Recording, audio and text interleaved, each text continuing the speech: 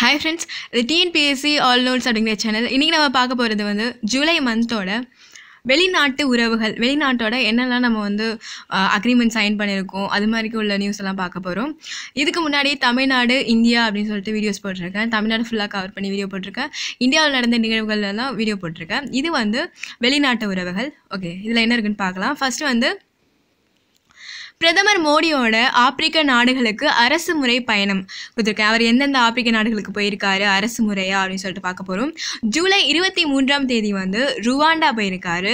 இது மூலமாக என்னென்னா ருவாண்டா செல்லும் முதல் இந்திய பிரதமர் அப்படிங்கிற ஒரு பேர் வந்து அவர் கிடச்சிருக்கு. ஜூலை இருபத்தி நான்காம் தேதி வந்து உகாண்டா போயிருக்காரு. அதனால வந்து கடந்த இருபத்தோரு ஆண்டுகளில் முதல்ல வந்து கடந்த இருபத்தோரு ஆண்டுகளில் உகாண்டா போகிற முதல் பிரதமர் அப்படிங்கிற ஒரு பெருமை வந்து அவர் கிடைச்சிருக்கு. ஜூலை இருபத்தி நான்காம் தேதி உகாண்டா போயிருக்காரு. பத்தாவது பிரிக்ஸ் மாநாடுக்காக கலந்துக்கணும் அப்படிங்கிறதுக்காக ஜூலை இருபத்தஞ்சாம் தேதி தென்னாப்பிரிக்கா போயிருக்காரு. இது மூலமாக மூணு கண்ட்ரிஸ் போயிருக்காரு. ருவாண்டா உகாண்டா தென்னாப்பிரிக்கா அப்படின்னு சொல்லிட்டு மூணு கண்ட்ரிஸ் போயிருக்காரு.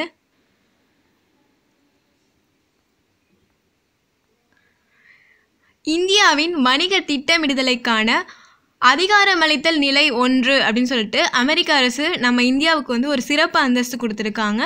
இந்தியாவுக்காக கொடுத்துருக்காங்க. வணிக திட்டமிடுதலுக்கான அதிகாரமளித்தல் நிலை ஒன்று அப்படிங்கிற ஒரு சிறப்பு அந்தஸ்து அமெரிக்க அரசு கொடுத்துருக்காங்க. நம்மளுக்கு கொடுத்துருக்காங்க. இது மூலமாக எந்த ஒரு ஏஷியன் கண்ட்ரிஸுமே இது வரைக்கும் இந்த சிறப்பு அந்தஸ்து கிடைக்கல. நம்ம இந்தியாவுக்கு இந்த நிலை வந்து கிடச்சிருக்கு.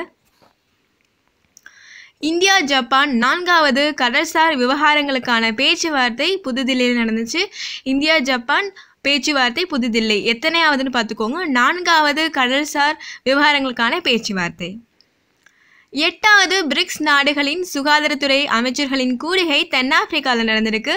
தென்னாப்பிரிக்காவில் டர்பன் நகரில் நடந்தது. எத்தனையாவது? எட்டாவது பிரிக்ஸ் நாடுகளோட சுகாதாரத்துறை அமைச்சர்களோட கூடுகை இது வந்து இதில் வந்து இந்தியா சார்பாக யார் கலந்துக்கிட்டா அப்படின்னா மத்திய சுகாதார குடும்ப நல அமைச்சர் ஜேபி நட்டா வந்து கலந்துக்கிட்டாரு எங்கே நடந்துச்சுன்னு பார்த்துக்கோங்க தென்னாப்பிரிக்காவில் டர்பனில் நடந்துச்சு. எத்தனையாவதுன்னு பார்த்துக்கோங்க எட்டாவது. யார் கலந்துக்கிட்டதுன்னா ஜேபி நட்டா. பத்தாவது டெல்லி பேச்சுவார்த்தை நடந்திருக்கு.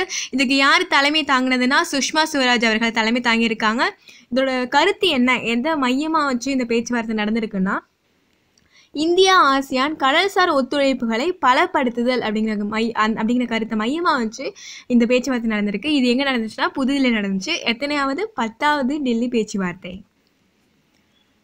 அமெரிக்காவில் ஹோஸ்டன் பல்கலைக்கழகம் ஒன்று இருக்குது அதுவும் இந்திய அரசோட இந்திய பெட்ரோலியம் மற்றும் ஆற்றல் கல்வி நிறுவனம். ஸோ நான் இவங்க ரெண்டு பேரும் சேர்ந்து ஒரு ஒப்பந்தம் போட்டிருக்காங்க. இது அமெரிக்காவோட ஹோஸ்டல் பல்கலைக்கழகமும் இந்திய அரசோட இந்திய பெட்ரோலிய மற்றும் ஆற்றல் கல்வி நிறுவனமும் ஒரு ஒரு ஒப்பந்தம் போட்டிருக்காங்க. எதுக்குன்னா எண்ணெய் அகழாய்வு மற்றும் சுத்திகரித்தல் தொழில்நுட்ப ஒத்துழைப்புக்கான பரிந்துரை ஒப்பந்தம். எதுக்கு? எண்ணெய் அகழாய்வு எடுக்கிறதுக்கும் சுத்திகரிக்கிறதுக்கும் ஒரு டெக்னாலஜிக்கலாக ஒரு சப்போர்ட் கொடுக்கணும் அப்படிங்கிறதுக்காக ஒரு ஒப்பந்தம் போட்டிருக்காங்க. இந்த இந்திய பெட்ரோலியம் மற்றும் ஆற்றல் கல்வி நிறுவனம் அப்படிங்கிறது வந்து எப்போ ஸ்டார்ட் பண்ணாங்கன்னா ரெண்டாயிரத்தி பதினாறில் தான் ஆரம்பிக்கப்பட்டது. இதோட ஹெட் குவார்ட்டர் எங்கே இருக்குது அப்படின்னு கேட்டாக்கா ஆந்திரா சம்பாவரத்தில் வாங்காலி அப்படிங்கிற பிளேஸில் இருக்குது இந்திய சீனா கடல்சார் விவகார பேச்சுவார்த்தைகள் வந்து இது வந்து ரெண்டாவது இந்திய சீனா கடல்சார் விவகார பேச்சுவார்த்தைகள் எங்கே நடந்ததுன்னா சீனாவோட பீஜிங் நகரில் நடந்துச்சு. இதுக்கு முன்னாடி தேர்ட் பாயிண்ட் பாருங்கள் இந்திய ஜப்பான் நான்காவது கடல்சார் விவகாரங்களுக்கான பேச்சுவார்த்தை வந்து டெல்லியில் நடந்ததுன்னு பார்த்தோம். இப்போ வந்து இந்தியா சீனா ரெண்டாவது கடல்சார் விவகாரங்களுக்கு பேச்சுவார்த்தை வந்து நியூ நியூ டெல்லியில் நடந்திருக்கு. இந்திய அரசால் நேபாளத்தில் காத்மண்டில் இடத்துல வந்து என்ன ஆரம்பிச்சிருக்காங்கன்னா ஒரு நூலகம் ஒன்று ஆரம்பிச்சிருக்காங்க. அது பேர் வந்து நேபாள கல்வியாளர்களுக்கான நூலகம் அப்படின்னு ஒரு நூலகம் ஆரம்பிச்சிருக்காங்க. இந்திய அரசு அமைச்சு கொடுத்துருக்காங்க நேபாளத்தில். இதை வந்து நேபாள பிரதமர் ஷர்மா ஒளி வந்து துவங்கி வச்சார். ஹவாய் தீவில் உலகின் மிகப்பெரிய பன்னாட்டு கூட்டு கடற்படை ஒத்திகை நடந்திருக்கு. ரிம் ஆஃப் பசிஃபிக் கடற்க கடற்படை ஒத்திகை அப்படிங்கிறது பேர். ரிம் ஆஃப் பசிஃபிக் கடற்படை ஒத்திகை. இதில் வந்து இந்தியா சார்பாக ஐஎன்எஸ் ராஜாலியோட பி எயிட்டி ஒன் ரக போர் விமானம் முதல் முறையாக கலந்துக்கிட்டது இந்த வந்து ரிம் ஆஃப் பசிஃபிக் கடற்கடை ஒத்திகை கடற்படை ஒத்திகை அப்படிங்கிறது அமெரிக்காவில் நடத்தப்படுது. ரெண்டு வருஷத்துக்கு ஒரு தடவை நடத்தப்படுறது தான் இந்த கடற்படை ஒத்திகை அப்படிங்கிறது. இந்த கடற்படை ஒத்திகை ரிமா பசிபிக் கடற்படை ஒத்திகை. இதில் நான் பா யார் கலந்துக்கிட்டாங்க அப்படின்னு பார்த்துக்கோங்க. INS Rajali P eighty one ரக போர் விமானம் தான் கலந்துக்கிட்டது இது எங்கே நடக்குதுன்னா ஹவாய் தீவில். இந்தியாவும் வங்கதேசமும் ஒரு பயண ஒப்பந்தத்தில் திருத்தம் பண்ணியிருக்காங்க. எதுக்கு அப்படின்னாக்கா விசா நடைமுறையை வந்து எளிதாக்கணும் அப்படிங்கிறதுக்காக இந்தியாவும் வங்கதேசமும் ஒரு திருத்தம் பண்ணிக்கிட்டாங்க. இந்திய பாரம்பரிய மருத்துவ முறைக்கு மருத்துவ முறையான ஹோமியோபதி இது சம்மந்தமாக வந்து இந்தியாவும் கியூபாவும் வந்து ஒப்பந்தம் பண்ணியிருக்காங்க. அப்போது ஹோமியோபதி சம்மந்தமாக யாரும் யாரும் ஒப்பந்தம் போட்டுக்கிட்டாங்கன்னா இந்தியாவும் கியூபாவும். மருந்து பொருட்கள் தயாரிப்பு உயிரியல் உற்பத்தி அழகு சாதன பொருள்கள் ஒழுங்குமுறை இது சம்மந்தமாக யார் ஒப்பந்தம் போட்டுக்கிட்டான்னா இந்தியாவும் இந்தோனேஷியாவும் ஒப்பந்தம் போட்டிருக்காங்க. ஜகார்த்தாவில் வச்சு ஒப்பந்தம் போட்டிருக்காங்க. இது வந்து ரெண்டாவது ஒப்பந்தமா? இந்தியாவும் இந்தோனேஷியா வந்து ஜகார்த்தாவில் ஒப்பந்தம் போட்டிருக்கிறது. மருந்து பொருள் தயாரிப்பது. இதுக்கு முன்னாடி என்ன பார்த்தோம்? ஹோமியோபதி சம்மந்தமாக ஒப்பந்தம் போட்டுக்கிட்டது வந்து இந்தியாவும் கியூபாவும். இந்தியா இந்தியாவில் வந்து இந்தியாவில் இருக்க பட்டய கணக்காள நிறுவனமும் அயர்லாந்தில் இருக்க கணக்குகள் சான்றளிப்பு நிறுவனமும் ரெண்டாயிரத்தி பத்துலேயே ஒரு பரஸ்பர அங்கீகார உடன்படிக்கை போட்டிருந்தாங்க. அதுக்கு வந்து இப்போ தான் வந்து செயல் வடிவம் கொடுக்குறதா வந்து பார்லிமெண்ட்டில் வந்து ஒப்புதல் கொடுத்துருக்காங்க.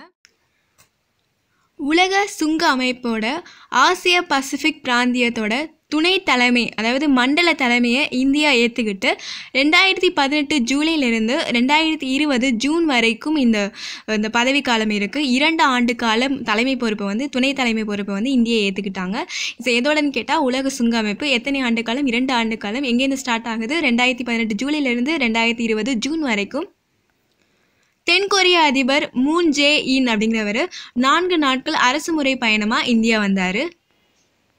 இலங்கையில் இருக்க அம்மாந்தோட்டை ம- மட்டாலா ராஜபட்ச சர்வதேச விமான நிலையம் மேம்படுத்தும் பணிகளுக்காக இந்தியாவோட இணைந்து மேற்கொள்ளும் கூட்டு முயற்சி.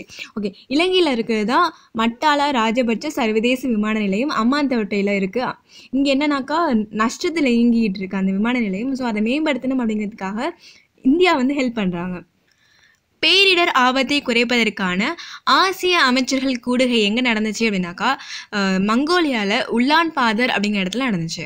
இப்போ பேரிடர் ஆபத்தை குறைக்கிறதுக்காக அமைச்சர்கள் கூட எங்கே நடந்துச்சு அப்படின்னா மங்கோலியாவில் உலன் பாதர். இதில் யார் கலந்துக்கிட்டா அப்படின்னா மத்திய உள்துறை இணையமைச்சர் கிரண் ரிச்சு தலைமையிலான ஒரு உயர்மட்ட குழு தான் கலந்துக்கிட்டாங்க